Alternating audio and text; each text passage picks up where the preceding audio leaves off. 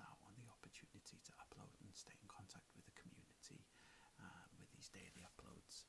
And secondly, today's video is going to be about wellness and well-being and relationships, chiefly talking from an emotional and mental standpoint, I guess. Uh, and there's no no pre-rehearsed or pre-written questions or anything like that. We're just going to talk and ramble for a little bit about and relationships. Um, and so yeah, so thank you so much for joining us. Any questions, drop them in the comment. Uh, just kick back and relax, and uh, yeah, thank you. Sorry. so, um, wellness and relationships. Yeah, they kind of go hand in hand, don't they, really? They really do, don't they? Well, I mean, yeah, it, you can be in a relationship if you're not feeling well mentally and well, you know, Mm. because obviously um, you then need to lean on each other. um, yeah, that support is important, isn't it? Mm. To me, uh, from a, a male's perspective, a, a lot of throughout, I mean, throughout my twenties, I took a, a, a steep and long learning curve to understand emotional nourishment Mhm. in a relationship, and that you go to a relationship to give. Mm-hmm. You know, when you're feeling pain, Mm. that's the time that you give more Mm-hmm. to the relationship. I think, um, and that to recognize um, that emotionally and mentally that feelings come and go at any moment, Mm. and that you need to be prepared to have breathing space Mm. in order to facilitate that. Because that's harder when you're younger, isn't it? You're more kind of, excuse me, uh, impulsive, and Mm. you know, if you get to a bad place, it, it might feel like the end of the world, and it's kind of hard to to gain perspective. Um, I think. Well, it it was for me um, in my early twenties. Um, yeah, but I, I think um, growing in that way and understanding those feelings and knowing that you know feelings change um, is so important. Right, yeah, yeah. And it's it, it's funny that when you're in a relationship sometimes you can end up losing yourself in the process and, and your own wellness in the process because you devote so much of your time, mental energy, Mm. and resources to another person that doesn't reciprocate it, right? Mm, absolutely, uh, that was certainly a pattern of mine, um, and many of my friends as well. Um, I think I think it must be quite. Um, I, I I bet there's people in the viewership watching this that can have been in that circumstance. yeah, when you're just giving, and you know, if you're trying to make a relationship work, and you you sort of realise you're the only person really trying to put put the effort in, and um, the emotional energy into a relationship, and that's not being returned. It's just kind of hard to find yourself in that situation. Absolutely. Um, hearing you speak um, has prompted me to ask the question: What makes um, a healthy relationship in terms of dealing with two two separate people's well-being and dealing with the emotions and mental headspace? Mm. What makes a healthy relationship? I think maybe it changes for, for people, but um, the biggest one for me is communication. Mm. It's the foundation, isn't it? it? really is communication, um, flexible thinking, um, the willingness to grow together. You know, sometimes we, we forget that we are working as a team in a relationship. Um, so, you know, supporting each other to grow um, and be on the same team.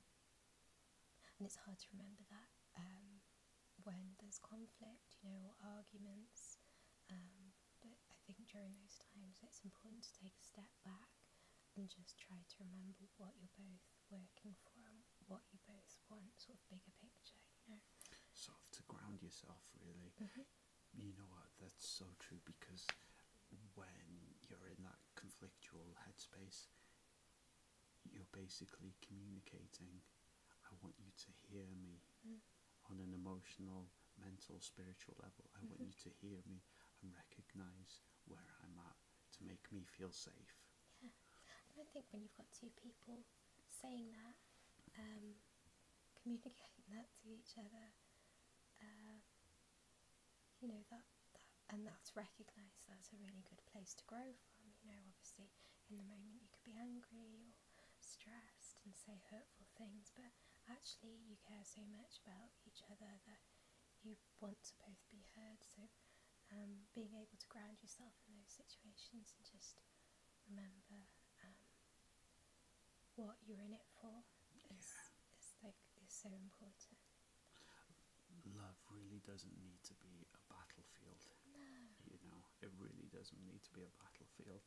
I mean, you, you're there to to be each other's biggest um, fans and support. Really, Absolutely, you know.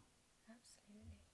Um, and giving the other person freedom as well. You know that that's important. The freedom to grow. Um, you know, because I've been in relationships in the past where um, my achievements haven't necessarily been celebrated because they are perhaps uh, threatening. You know, to the other person. That speaks of insecurity to me.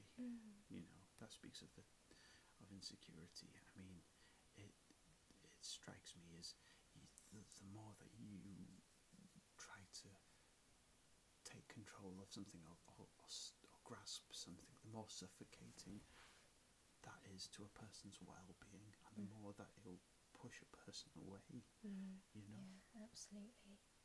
Um, yeah, so freedom, communication, uh, trust. Obviously, that's right at the top, isn't it? Trust.